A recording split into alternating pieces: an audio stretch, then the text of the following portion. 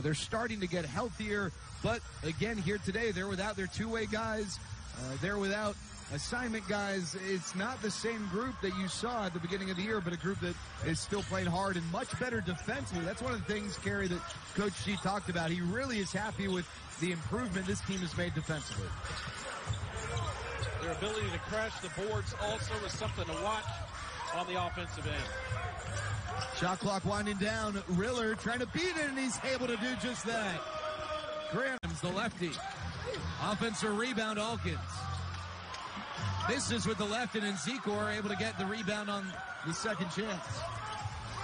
Rebounding is going to be a big part of the outcome here. The Legends just eight active, not the biggest team, and this is a really good rebounding team. Riller with the. So here's Riller, who has been an 89% free throw shooter this season. And he gets that one, so completes the three-point play. A little low for him on the average. Tuesday. Here's Riller.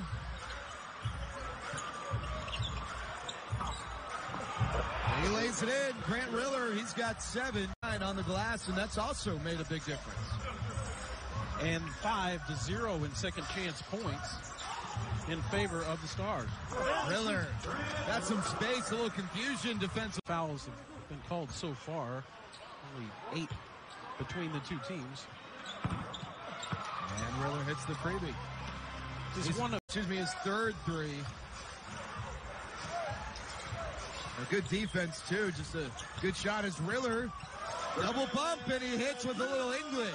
Big down low. Despite and a distributor, despite not being really that large. Dorsey try to split the defenders. Riller falls away. Grant Riller knocks it down. He got the t-shirt. And the kid will never forget it. Yep. He probably tells that story all the time. If I got the t-shirt, I would just give it away anyway. Riller finishes. Finger roll. Grant. Legends shooting 53% from the floor in this game.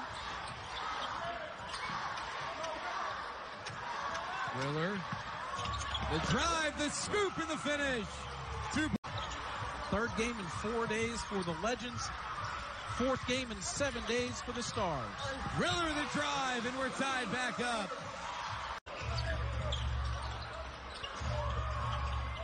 Alkins misses, and the rebound for Hull. Still plenty of time. Inside of three minutes, Riller the drive. He floats it home. 80% order.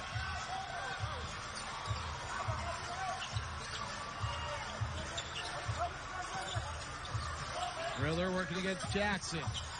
The drive and the bucket. Grant Riller getting to work.